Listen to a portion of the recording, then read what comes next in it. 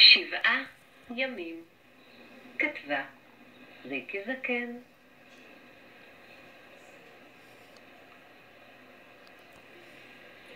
אני מאוד אוהב את יום ראשון, כי אחרי יום ראשון מגיע יום שני.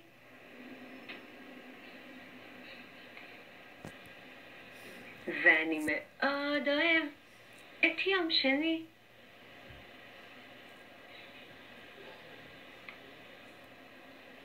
כי אחרי יום שני מגיע יום שלישי.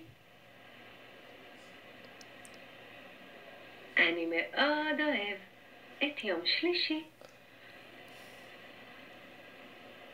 כי אחרי יום שלישי מגיע יום רביעי.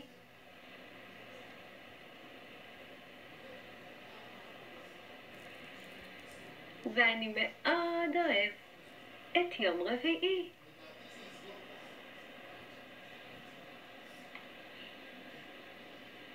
כי אחרי יום רביעי מגיע יום חמישי.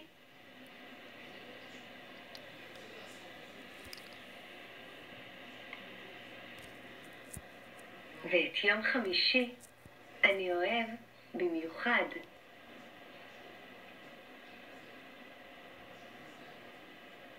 כי אחרי יום חמישי מגיע יום שישי.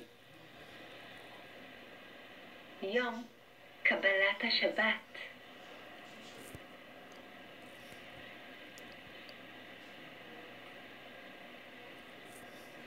אני מאוד אוהב את יום שבת.